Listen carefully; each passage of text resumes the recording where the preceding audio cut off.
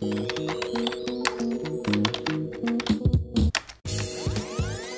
are a lot of things related to usability of your API, to the strategy, where it goes. So if we open this in here, it's not only about adding new fields on new endpoints. It's about the whole integration experience, and uh, it can be quite complicated. This was the moment when we decided to start an API council the main challenge with uh, the early stage startups specifically is is the speed of doing things. The startups move fast, and your product is MVP, and so are your docs.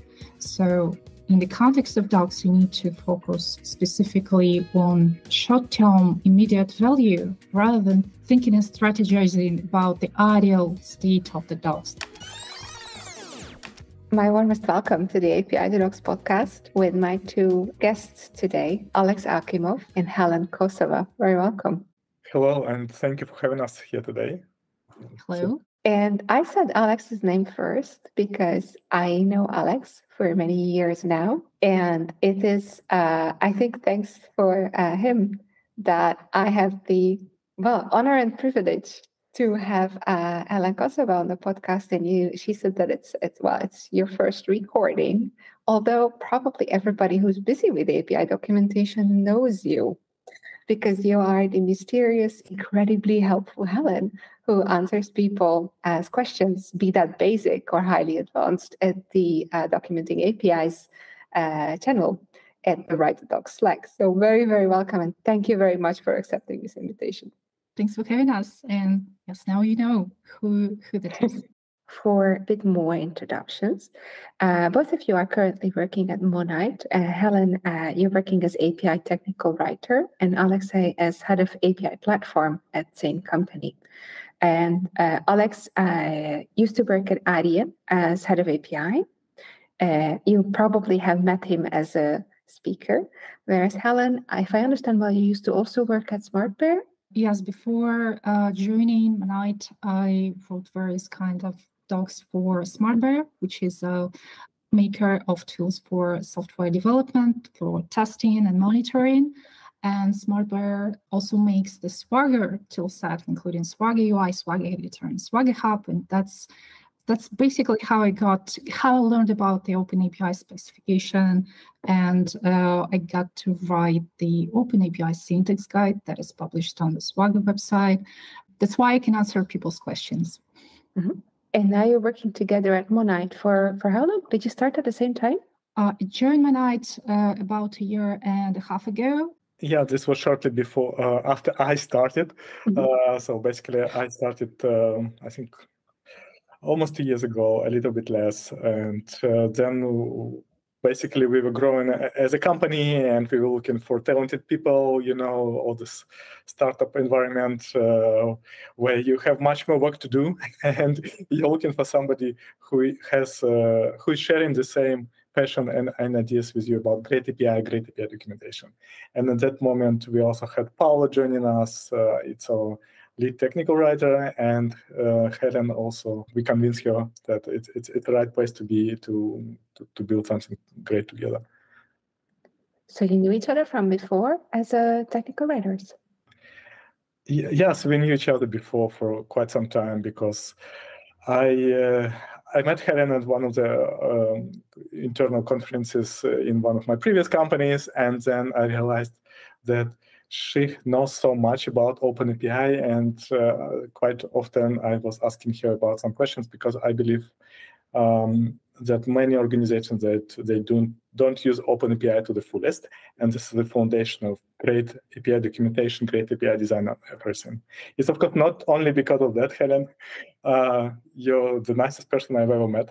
Uh, but obviously, we had a lot of common touch points and discussion points, and this, of course, helped us to form a new team and to work together now. Was it a culture shock uh, to join uh, Monite?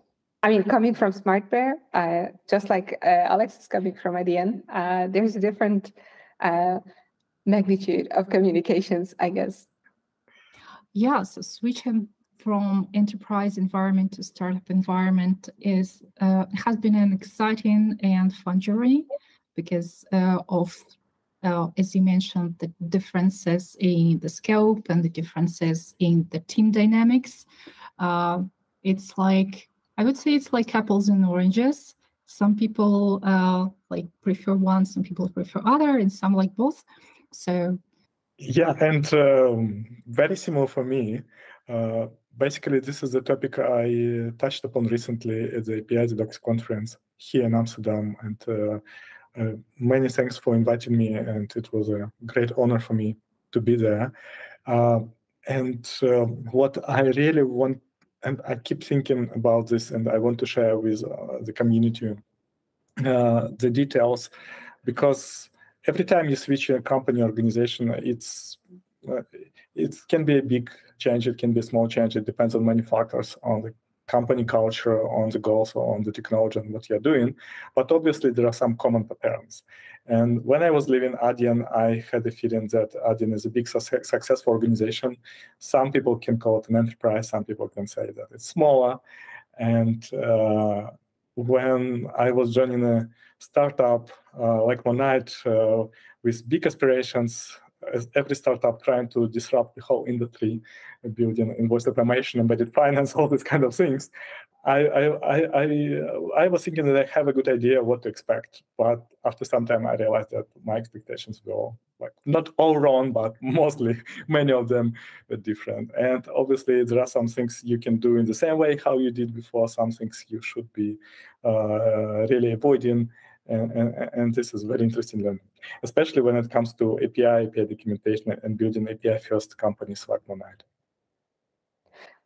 Just for clarity, uh, when was Monite founded? Was this a, a, sort of a greenfield opportunity to work on the API platform and the APIs for both of you, or did you get to an already forming case? Monite was founded uh, three years ago, but uh, first it started as a B2B uh, software company. And uh, the company founders quickly realized that uh, they want to switch their business model, and there is a much bigger opportunity in building uh, an API infrastructure for invoice automation and in general for finance document automation. and this is when they pivoted the company and they started building the completely new team around them. And this was a roughly this time when I joined along with many of my other colleagues, and then, as we mentioned, Helen joined us. So, in that sense, it's definitely a greenfield opportunity because you have a lot of influence, and this is also just in the interest of everyone. How we build our API, how we create our API documentation, uh, how we structure our work, what's important, how we get uh, feedback from clients, and so on and so on. So uh, everything you read in the articles about building API first organizations and everything, doing everything right, starting with API design, uh, obviously uh, this is something that you can easily apply in a new organization, but then you will also immediately see what works for you, what doesn't work for you, and how maybe this all can be combined together. Did you experience this similarly, Helen, that you from the get-go you were invited to have a huge influence on even setting up the processes and, and where the initial vectors are pointing? Yes exactly. So in startups especially early stages you start with hiring highly skilled people who know exactly what they are doing who, who can apply their prior experiences to set things up from scratch and such you're also directly involved in making decisions about procedures, tools, uh, the best practices. So you basically are setting them up to uh, be used from now on. And do you find this comfortable with so much experience that you're basically stepping into organizational like we can call it just setting up processes but it cannot be separated from organizational culture it's sort of the inverse Conway's law that if you set up tool chains and processes, it will organize the communication patterns and ultimately the company culture. Laura, you asked a very good question. Uh, when you're coming to a new organization and you already know how things should work, right? And, and you see, and you try to do this, and, and it's not like that. So coming to a startup is a lot of experience. I think this can be very challenging. Uh, like uh, also, like it can be mentally exhausting because you expect things just to work. You expect people just to know, uh, and it can be caused by several things. It can be caused just like because you're you've been working in a previous environment and you expect things to be done in a certain way. So obviously, and I experienced this myself also, like not only in a startup, but before coming, like also coming to Adyen, I expect things to work in a certain way, and uh, that's uh, I think just important to be self-aware and understand that okay we are building something and this something can be different. And we listen to each other. We have a new mix of people now new experiences and probably it will not be the same. Probably it will not be super efficient as you might think in the beginning. Maybe it will be and you will be able to learn from this and but this is the beauty of building something. Uh, so focusing on this i think this gives you mental power uh, to finish the exercise well together with your team. And uh, on the uh, communications, I think, yeah, this is the perfect topic uh, on the Conway's Law. I, I, I, saw, I don't know, maybe some people might disagree, but I saw it's uh, uh, affecting our API and any other API so many times. So I think when you're working on the API design, this is maybe one of the things that is affected most because if you have five teams working on different uh, parts of your product internally, quite often you go to the documentation and you see five different APIs. It might be a good decision, might be a bad decision. You don't know until you really start integrating with this API. But many times it means that this API like uh, really different in in the form, in, in, the naming, in the structures, in the version, and in, in a lot of different strategies. Because this isolated, if there is no good communication internally. And there are some pretty uh, straightforward and uh, well-proven things how we can resolve it. One of them, uh, I, I, think I also mentioned this in my presentation at the API the docs, is API council. I strongly believe in that. I know some companies who already do this, and also Adyen is an example of that. And we immediately started doing this at Monite. Uh, Helen is a valuable member of API Council, and she can talk a lot about that. But basically, the idea of API council is to harmonize, harmonize all the communication across different teams at that level. When you start doing something around APIs, and if you're API first, API design first, it happens early in the process, then already at this level, you harmonize more or less the decisions that you make. And this results in, in a good outcome in user experience and developer experience, API documentation for clients. Helen would love to hear your opinion on that because, yeah, we often have endless debates on API design, but I never probably discussed how, how you see this experience. Um, I'm very happy to be on the council and to um, to have an impact on our API design. And Alex probably mentioned that we have representatives from different teams on the council. We have technical writers, we have QA people, and uh, developers as well. And uh, it helps to have this perspective from different people. Uh, QA and tech writers, for example, they are often the first users of a new feature and they can estimate if something is usable enough and propose changes that would make more sense or be more consistent or useful. Uh, the council, how is this started and how regulated are you in your decision making processes let's put it that way. And could you put that into context? Like how many people are we talking about? And how what is your cycle time on the council? And how long reaching decisions are you making? And who who needed to be there? What roles? Oh good question. I i don't think there is a blueprint how any company can introduce a council. I can just tell about our experience and uh, yeah we can uh, share this together with Helen. Basically, once we realized, and this was very early in the beginning uh, when we were discussing our API at here at Monite, together with our CTO and uh, uh, other people who really care. I think everybody cares about API at Monite. And we were discussing uh, how to make things really good and usable up to industry standard, but also how to build shared knowledge around that. And the first prerequisite uh, that uh, we saw is creating clear guidelines. Uh, again, there is nothing new in creating API guidelines. You can already take some guidelines that exist somewhere open source. There is a good, I think, API style guide from Zalando, from Adidas, from other companies as well. Uh, based on our experience, we saw that there are a lot of patterns uh, that we want to do differently, or we want to just combine, you know, take the best best of all the worlds. And that's why we created our uh, API guidelines, but we decided also to automate it, to, to do linting with Spectral and Open API, and also to open source. So basically, so more people can use it. This was our strategy. Uh, but then besides guidelines, when we looked around, we understand that even if we apply that, it's still a lot of things that besides guidelines, because guidelines, they define only the basics.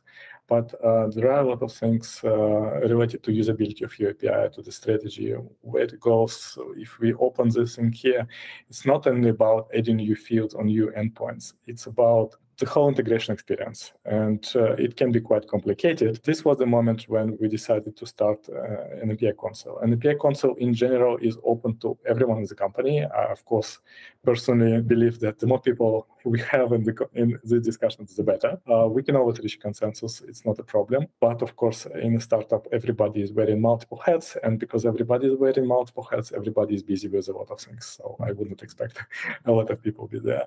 Uh, so we agreed on the following format. In our council, we have representatives of every product or shared teams. Uh, as Helen mentioned, we have technical writer, we have a QA engineer, we have developers, we have uh, also somebody from the product side, and we have a cadence uh, of regular meetings. Basically, every week we have an hour blocked for our discussions, and these discussions are related to any API improvements that are happening, any, any API design changes, but also on setting up the guidelines.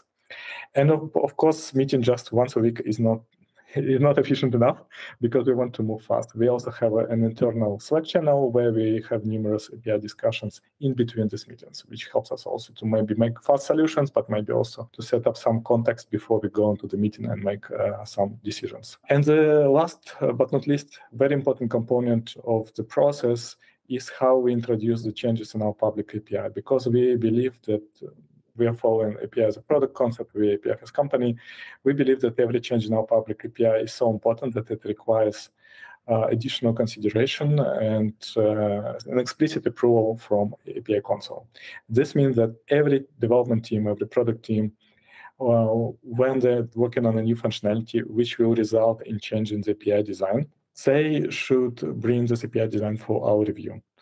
Uh, this can be done in a very formal way, so they can create a specification page in Confluence, they can write down all the use cases, they can make some proposals, pros and cons, and we can look into these problems, especially for big API designs. I think this is crucial, but it can be also quite informal. It can be just a small message to our Slack channel, or maybe we can have a small discussion in the API council meeting, and we decide all together, basically. And this allows us to help uh, uh, common shared ongoing process of making API design changes all together. And also this allows us to understand what's going on in other teams to keep the alignment, to make sure that what we produce is consistent, is good enough for our customers. Uh, usually API council members, uh, they spend from three to six months within the council, and uh, it's good if uh, we rotate team members, if more people come, because those who have been in our discussions, they already uh, gain a lot of experience how to make decisions right, and then they bring this experience back to the teams. So this is also a process how we share knowledge internally. This is uh, super helpful. Uh, but obviously, uh, some members um, like uh, they can stay there forever, and Helen is a member of the council who was there from the beginning. Uh, so basically, this is how it works. I can only add that uh, I've noticed that since the year since the API Council was uh, has started, the new designs, the new proposal, the initial proposals, they already align more closely with our guidelines. So the guidelines in and the council, they work in, uh, they have effect on spreading actual knowledge across the development team, and so they are indeed effective. Where do you normally step in, Helen? What is uh, what is the, the points that you make sure are adhered to and in the council? I understood from um, previous conversation that Alex has his eyes more on strategy, as I guess you have to enforce that it stays a platform and behaves like a platform. And Helen, you talked about yourself that you more consider yourself in the tactical execution of things, busy. This is a yeah subjective distinction of what is subject what is what is strategic and what is tactics it depends uh the eye of the beholder but what are the points that you usually um, insist on as a member of the council? Uh, as a technical writer i try to make sure that the naming makes sense the naming of uh, the endpoints parameters and new fields. Uh, i try to estimate how new endpoints fit into uh, the user flows and uh, just uh, and also pay attention to uh, meeting our general API design guideline in the terms of in terms of using the correct HTTP methods, uh, response status codes, and things like that. And Alex, what is it that everybody knows that you will say that? I will also say that we cannot just make a breaking change. I, uh, yeah, so basically, one of the things that I really care about is that every decision that we make, we are not making it because it's more comfortable for us internally. Obviously, if it's more comfortable, it's also a good point because it allows us to move faster and to bring some valuable functionality to our product. But at the same time, I really try to understand how customers will be using it. And part of my job also at Monite is helping all our clients with our technical integrations. This means that uh, on the daily basis, I have numerous meetings with our clients, looking into the issues, trying to understand, trying to help, and also trying to see what can be improved in our API design. I think uh, it's super crucial, especially in the beginning of building your API platform. Maybe over several years, we already know more or less it, it will be much more stable. But now we're in the moment where we're actively growing and we need to understand a lot of things. And obviously, there are so many things that we don't know about. And even if you think it's perfect, the other day you already see how it can be improved. Uh, to the next level, uh, that's uh, something that I, I, really try to focus on. And uh, what Helen also did not mention, but I think this is what all the members of the API councils do a lot.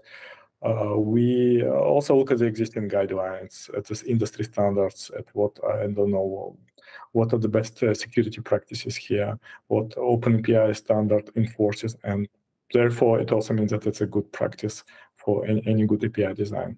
So I, I, think in general, API council is not only about uh, setting guidelines and doing the design itself, it's about spreading the knowledge, but also it's about setting up the API first culture, which is probably one of the most complicated things to do. So people think about API and people understand it's important. Uh, it sounds very easy, and it's easy maybe to say from the stage, hey, we should do this.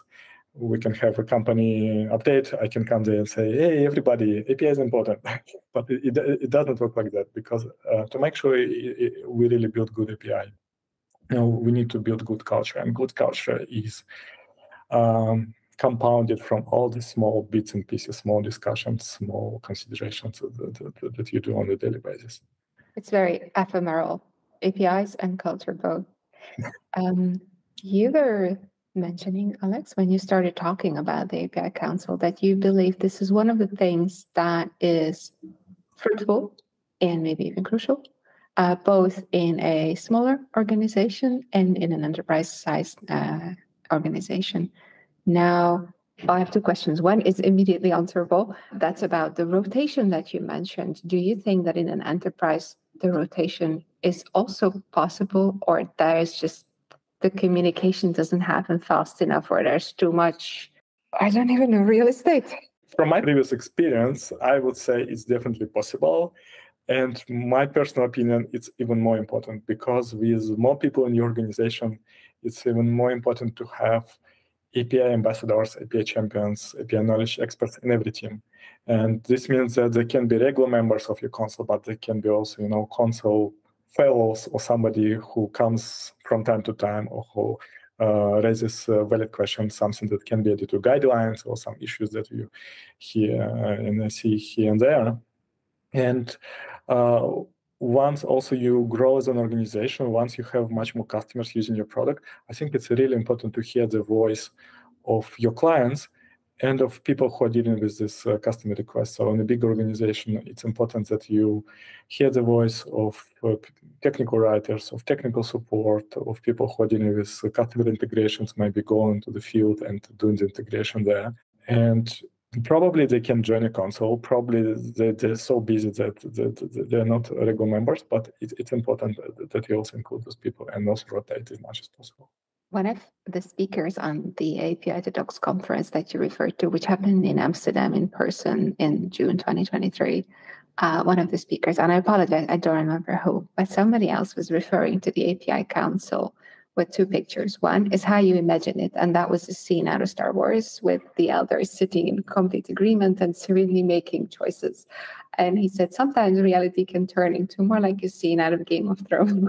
and um, some people in the audience were laughing in a very, um, yeah, fashion. So I guess also this is um, easier said than done. Now, what are the what are the other aspects uh, that you see are intuitive or counterintuitive differences uh, between how do you realize an API first momentum in an enterprise or in an SME? What other dimensions did you name, uh, and and where where do you see more um, differences uh, rather than the similarity of the council, with which you would both recommend for any size company?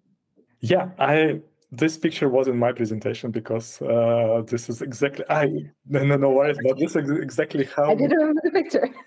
this was a good picture. When I found it, I was like, okay, exactly. I mean, not always we're always like friendly and welcoming people, but sometimes we come to this council, everybody is busy with their thoughts and workload, and now we have some API and, and we look at each other like very scared, like, what are we doing here? How can we make, even make a decision? Because it's it's it all looks strange and unfamiliar. But at the end uh, of, of the discussion, actually, everybody is usually aligned and we have a very clear picture, which is a very uh, aha moment for, for all of us. And I always appreciate when this aha moment happens. I think obviously uh, there are differences uh, and it can be related to the size of the organization, to the maturity of organization, but maybe also to the experience that people have. And here in, at Monite, everybody joined like recently. And if you joined more than six uh, months ago, you're already uh, like one of the oldest people people in the company. Uh, but but still, you joined very recently. Uh, what it means? It means that we are still building something and we are learning from that.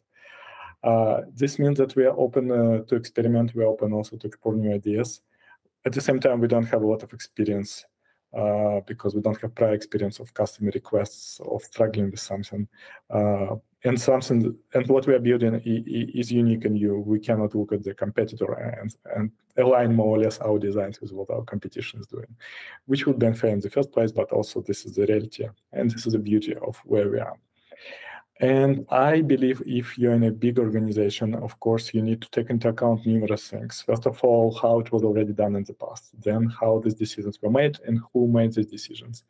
Ideally, uh, it's always important to understand and find any documentation, like internal also documentation on these uh, decisions, if there was an architecture decision record or like something like that, or were any issues, because you can easily come up with a new design and then it can happen that this new design was something that the company already tried in the past and it didn't work for some reason so it's important to have uh, this context for anybody who is participating in the council but it's important also to understand that if somebody uh, has a disagreement with you, uh, maybe there is a reason, and maybe there is some like history of some technical decisions, or maybe some problems with different clients, uh, and, and, that's uh, something we need to overcome.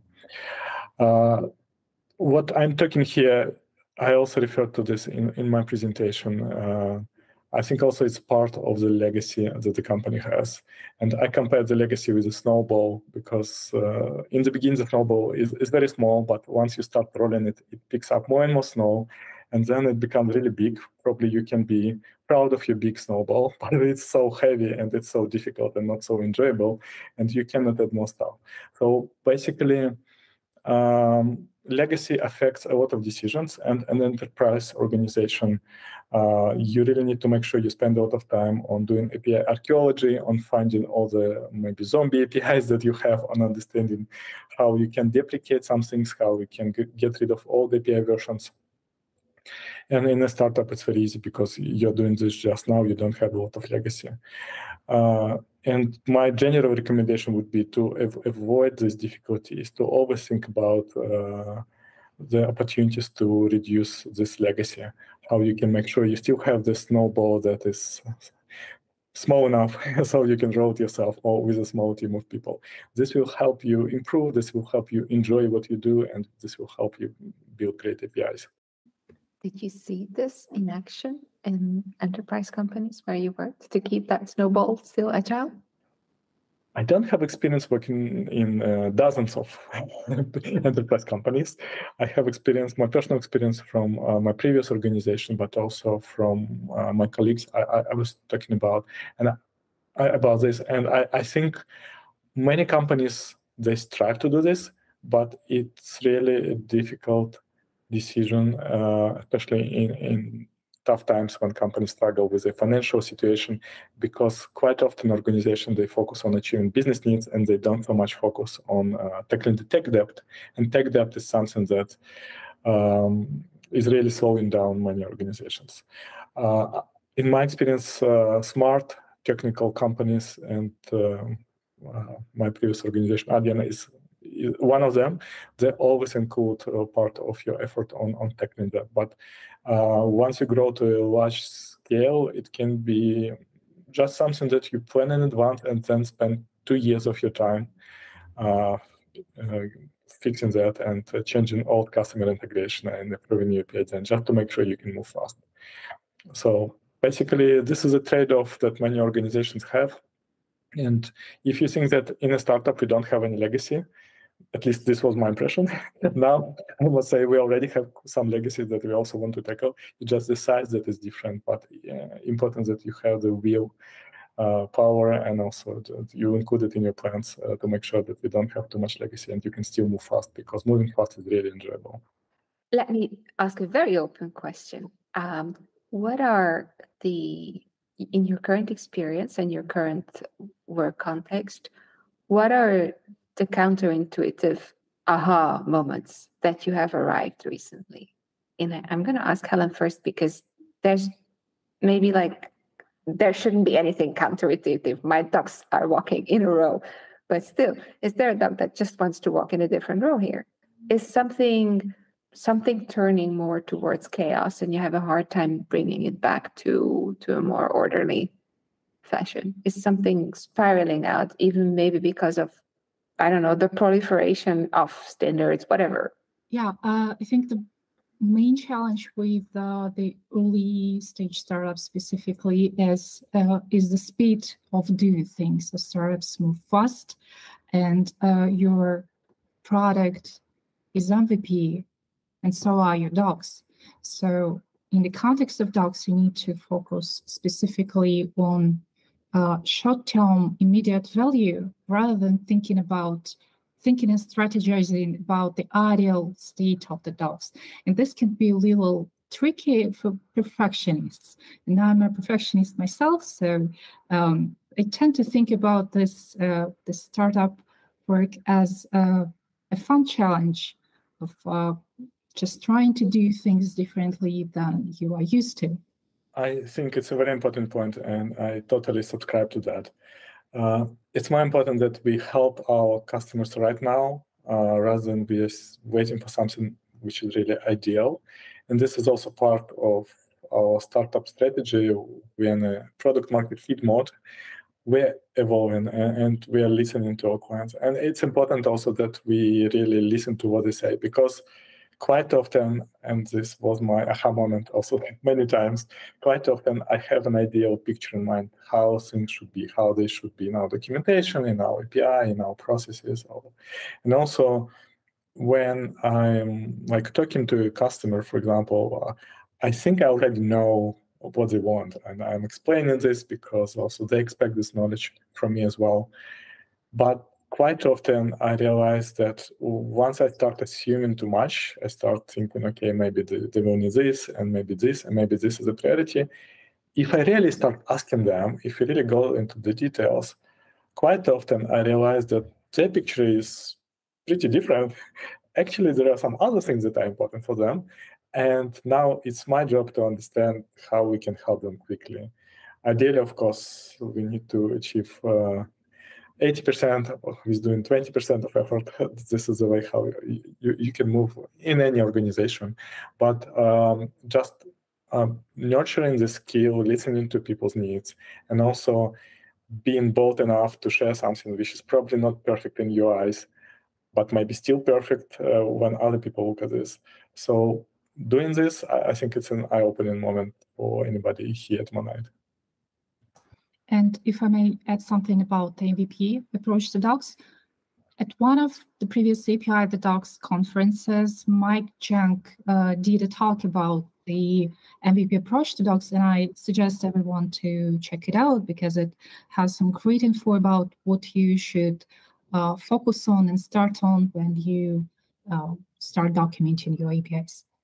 And maybe last but not least, it can be very surprising uh, when you're stuck with something and you think you're alone here. Basically, you need to solve it and you're already committed to that. But then all of a sudden, you see a lot of people around you who are also interested in that, who are also helping you. So uh, I think uh, it's a beauty of working in a small organization that everything is um, transparent. Everybody knows, and there are a lot of people who actually also want to contribute. So having great people in your team, I, I, think also this is of course an enjoyable experience, but also quite often in our careers we tend to forget about that, uh, and uh, it's important to always be open and to share with others and to see if somebody else also is actually uh, thinking about the same and can help you right now. And you experience that as counterintuitive because of communication burden or oh um, I wouldn't say it's like totally counterintuitive, but it's something that um, you might not always expect because you know that everybody is busy, right? And also, I experienced this many times when somebody is approaching maybe to me or maybe to others, they will say, Yeah, we know you're busy, but do you have something? And I might be busy, might be not, but it's not about being busy. It's about building something together. And if I have something that can be helpful, I share this. If not, then it's okay. And I think that many people operate in this mode. It's just something that we don't realize a lot. Helen, when you said that you're a perfectionist, uh, I don't know if you know, uh, Brene Brown introduced herself on that stage as I'm a recovering perfectionist. and for me, that was, oh, oh, I know that. but perfectionism is both the biggest weakness and biggest strength. How do you how do you experience this in your daily work? It's just about in, about getting to understanding where you need to stop and ship things.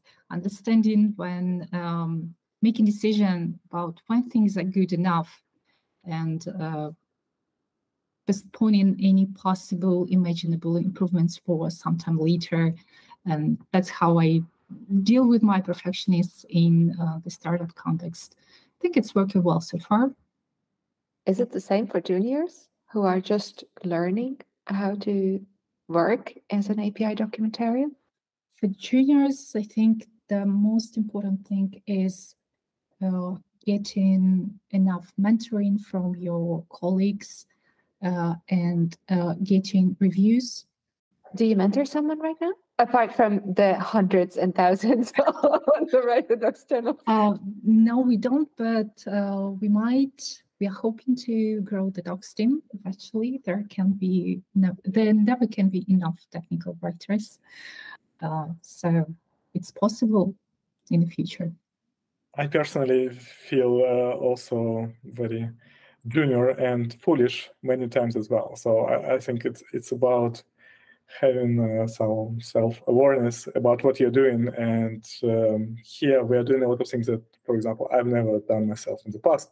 And this helps you also be motivated, but also uh, to learn something from others and to understand that you have some strengths, but also you have a lot of things to learn. And this is the same for almost everybody at any, any, any moment of your career. And yeah, my, my, my advice to anybody who is just starting the career.